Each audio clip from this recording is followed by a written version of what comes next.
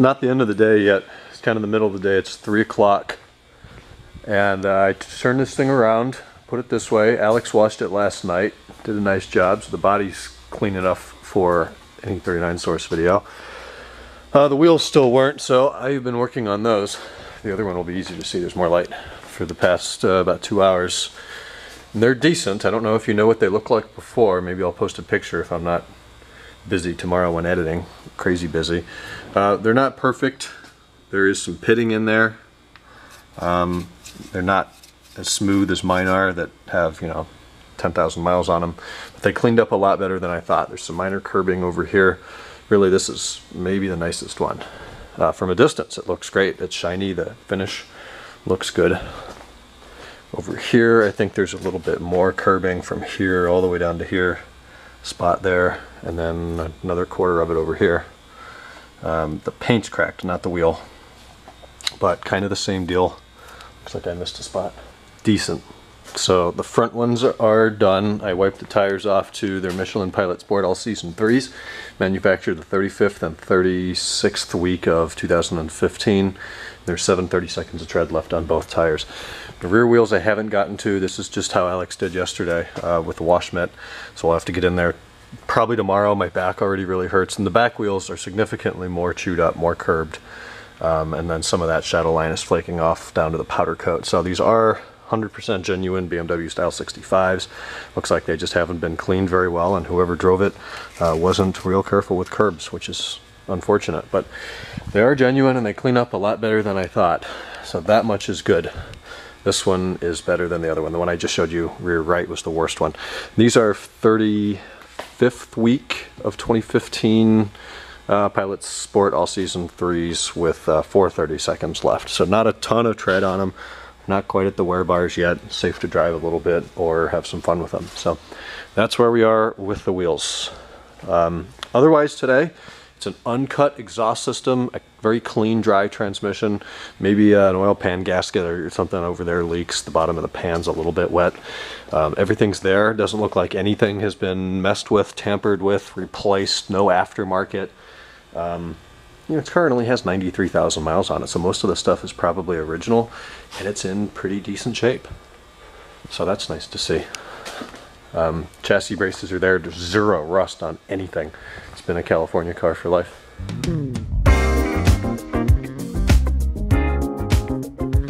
Anyhow, now I've got five errands to run. I've got to ship Jeff channel locks at USPS.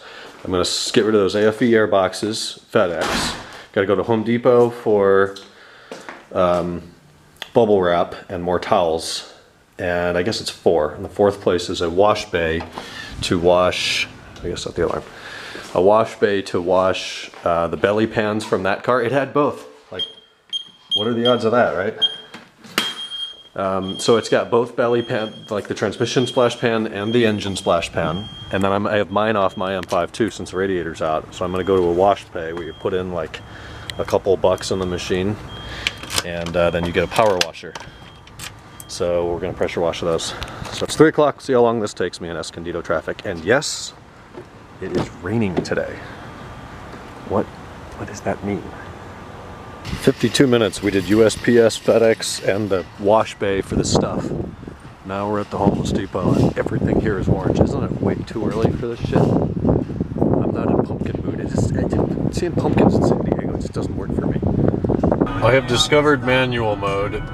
That is it. I looked at that and thought it might be, uh, I don't know. I mean, when I first got the car, I thought maybe it's like the ZF 8 speed and it's got a shifting ferocity setting not the case. That is how you shift.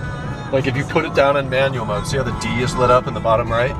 If I go down to manual mode, it's in sixth. If I want to go down to fourth, I have to press that twice. How ridiculous is that? It works pretty well. Like this automatic transmission is actually one of the better automatics I've ever driven.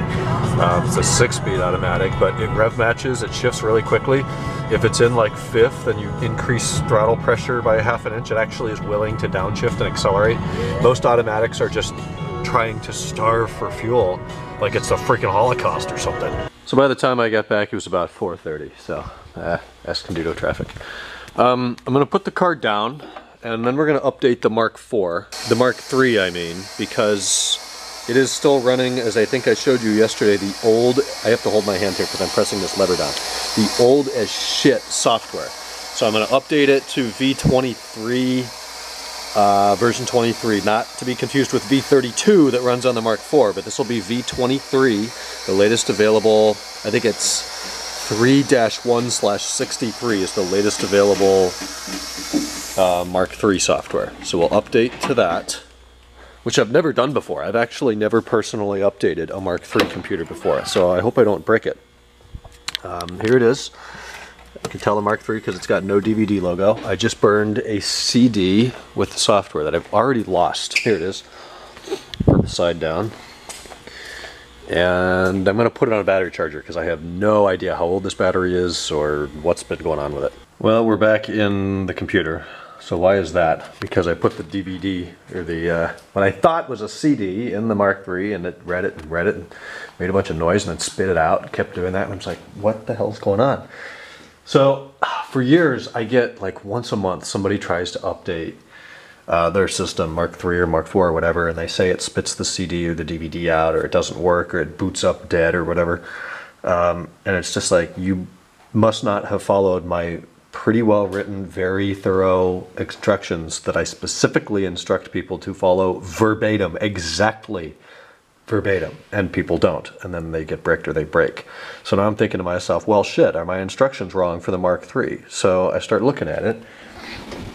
And it turns out i wrote it to a damn dvd because i put the dvd in this case this box packaging labeled cdr don't do things like that don't put dvds in something that's labeled as a cd so here we go this one actually says cd on it and uh, obviously it can't close the tray itself, so we have to close it and then hit OK. And I love the little sound that ImgBurn plays when it's done verifying the disk. And I'm going to keep an eye on this progress bar here. Um, it shouldn't take long. And it plays this little sound that reminds me of a game that I played as a kid. Remember Arthur, the Aardvark thing? I think he was. If you guys are 90s kids, you'll, you'll remember this maybe. And they had a series of computer games on CDs like Windows 2000. Maybe they would work in, X, in up to XP. But as a kid, I would play those games. And there was one that was like Deep Sea something. And when you found a treasure, it played a song that almost sounds exactly like what this is about to play. So I'll try not to miss it and we'll film it next. It was this, and holy crap, it's on Amazon for 20 bucks for Mac and Windows. I'd love to read the system specs for that. It's Arthur's Computer Adventure from Living Books. Wow, I remember that. I thought it was so cool, graphics. Like that, those were the only games I was into. Um, I still have that on a CD somewhere in Ohio. In fact, I know where it is in Ohio. Um, I wish they posted the the specs. Like, obviously, it's not going to run on Mac OS 10 point. What are we on? 16. 15, 14, 10.16. It was probably like OS 9 compatible. Um, I'll see if I can find that somewhere without losing track of this.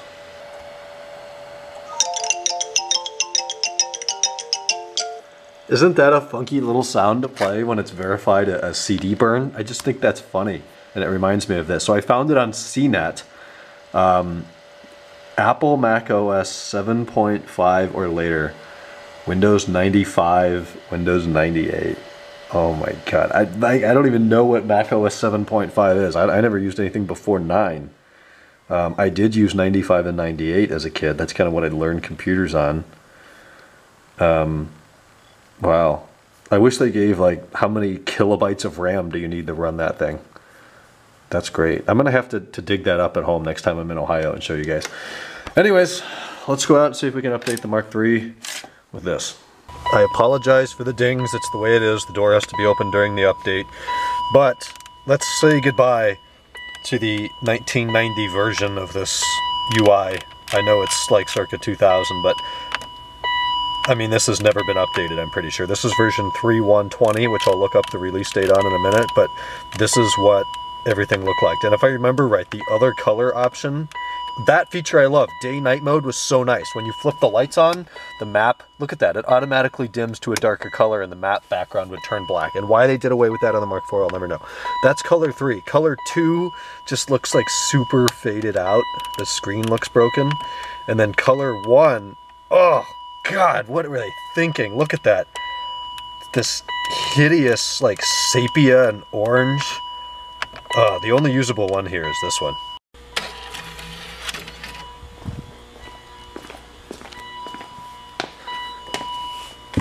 Getting in a car and a lift is not easy.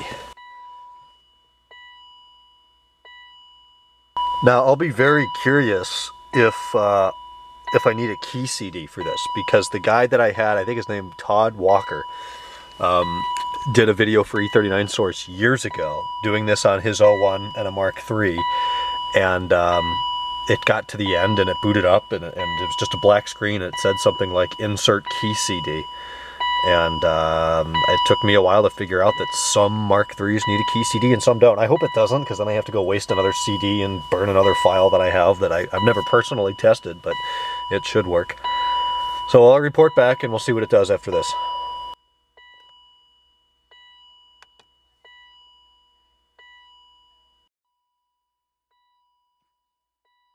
All right, I was on the phone there for a few minutes, so I couldn't talk. But um, this disc worked. Then it asked for a key CD. I went in and made that. Took like five seconds to burn. This is a 700 megabyte CD. Can you tell where the data is? Used about three megabytes of it, but whatever, it worked. You put that in, it reads it for a second, it spits it out, it reboots, and uh, and, and you're back in business. You got latest running here on the uh, Mark III. Close that door. I'm so sick of the dinging. I coated that off on my car, by the way. I went into the IKE and uh, turned off, I don't know if I told you this last week or not, but I turned off the key and ignition lock chime. Thank God. I don't know why I didn't do that five years ago. It's the most annoying thing ever. Whenever the door's open, it just bongs at you. And with all the diagnosing work and coding and scanning and blue bus stuff that I do, um, it's just horribly annoying. So this is what we get now. 3-1 slash 65. I thought it was going to say 63, but this says 65. Um, the Mark III is notably slower than the Mark IV. The Mark IV, you can buzz through these menus all day. It's really quick. Um, that's the other color mode. I've actually never used this version of the software that I've had available on my website for who knows how long, quite a while. Did I miss the memo? Oh, it's down here. Oh, it doesn't work because the clock isn't set. That's why. I put the old disk back in. Will it remember the address book after you update? There's a good question. Will it retrieve an address? It retrieved way more addresses than it did yesterday. In fact, I have to blur this because his home address is on here. Um, there's a lot of there's a lot more information here. God, this interface is so much better. Has split view on. Or I have split view on emergency is here. Cool. All right, well, that is ready to be sold. Anybody want a Mark III? Gonna wrap up today. It's just about 8 o'clock. Um, I found the other airbox in the trunk, undamaged, so that's cool. Uh, these are all the parts that have been taken off, and some of them are cleaned, some of them, most of them haven't been. Uh, but they're all usable and sellable, with the exception of that headlight, and probably that one. Uh, but we got some maps, AUC sensor, uh, lower front grille, all this stuff. Uh, cleaned these up today. They didn't, you know, they're not perfect. You'll still get your hands dirty if you touch them, but there's not just like oil dripping out of them anymore. So that's nice. Both of those are ready to go. Uh, sucks that the door is missing. It's $100 today on ECS, 111 on FCP Euro for a plastic door. Um, took the battery cover off. I've been charging. This one says 10 slash 17. I assume that to mean the 10th month of 2017. So it's not too old. Uh, we're just going to charge it up. We'll be kind to it. Um, I have not looked under here. Let's see if we get a pump. Hell yeah, we get a pump. Check that out. We get a pump and that's it. So, oh, and a cargo net. Oh, that's cool. The old style cargo net with spider webs on it. Ew. That's been in there for a long time. Anybody want a cargo net? I'm sure it'll stretch out and be fine again. It's just been sitting down there. That's kind of one of the cool things about dismantling a car is you find all this old stuff that's just been sitting here forever. Some of it's just like a cool little treasure hunt. I got the uh, other two wheels cleaned up. I guess I had a second wind. Um, this one's actually pretty nice. It cleaned up better than most of the rest of them. Doesn't have too much curbing. The finish that is um, here and not flaking off, this is really the only flaking. Um, but it's in surprisingly good condition for as dirty as these wheels were when they came in. So those are cleaned. I scraped all the crap off the windows, all that writing that they do that, that they do at the at the lawn or the yard. And then uh, we'll get to this tomorrow. I gotta go home and get some dinner. Something annoying about the Impala, it has super flimsy door brakes.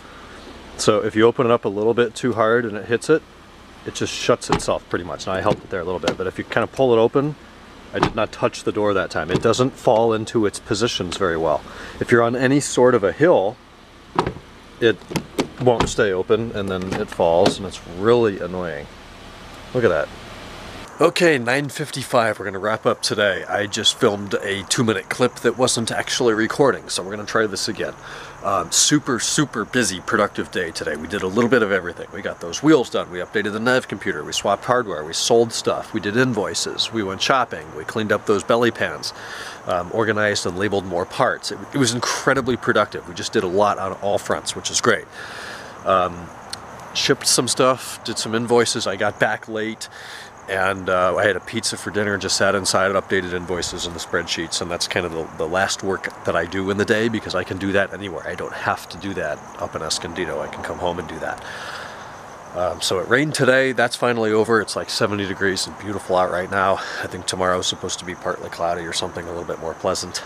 Um, tomorrow's going to be a day of waiting around the house for a little bit, waiting for FedEx to arrive. My radiator and hardware and, and associated parts are supposed to arrive tomorrow. Uh, I'll probably hang out here until 12.30 or 1. If those parts arrive, that's fantastic. I'll take them up there, install them, and have my car back. If they don't, that's going to happen over the weekend, Saturday or Sunday sometime, depending on what time looks like. Um, here in the meantime, I'm going to go inside and get some rest, uh, some early rest tonight, and then uh, hit it again hard tomorrow. So I've got to film a uh, upcoming things. I've got to film a video on this new car, car number four, Tiag car get that up on E39 source, start selling parts. Um, Alex is chomping at the bit to come in and start taking the thing apart, so that's great. And uh, then we bring the next one in. So, talk to you guys tomorrow on Friday. Good night.